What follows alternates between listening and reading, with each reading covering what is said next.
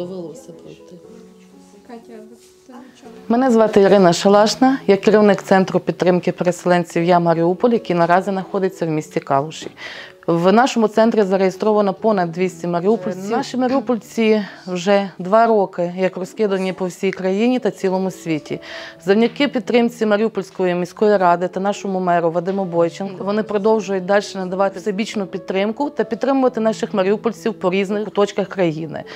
Е, В нашому центрі проходять різноманітні заходи, як і для дорослих, так і для дітей. Під час проведення одного майстер-класу і виникла ідея зробити таку, організувати міні-виставку робіт наших маріупольців.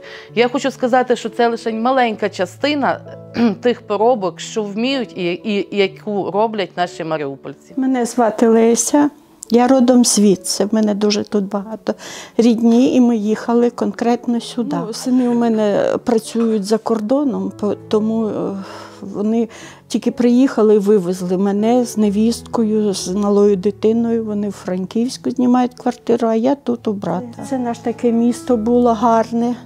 А зараз воно все в руїнах. Я дуже тяжко переношу то, бо я відчула на собі весь цей стан. Не хочеться розповідати, що ми бачили. Мені дуже важко згадувати, е, що діти це побачили. Наскільки скалічене е, це дитинство у малих дітей. Ну, в мене внуки, вони немовля. А ті, які вже пізнали, той трохи світ, таке радісне життя, яке було у нас, і потім така трагедія, загибель е, рідних батьків. І вони це бачили на очах. У них е, ну, загинув ба- батько чи мати, то дуже страшно. Я почала в'язати ще до війни з остатків пляжі. Лишається щось в'яжеш, там всякі клубки лишаються, куди? І викинути жалко. Ось зв'язала, почала. Коли прийшла війна їхати, я кинула сумку оце недов'язане та кілька клубочків, і добре, що так зробила. Бо як їдеш, стаєш на блокпосту, стоїш, там і година, і більше було.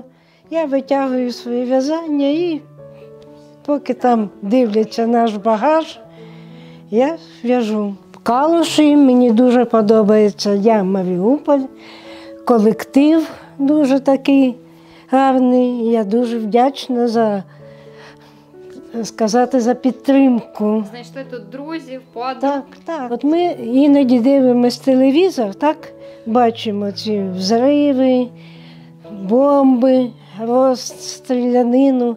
Ми дивимося це як кіно.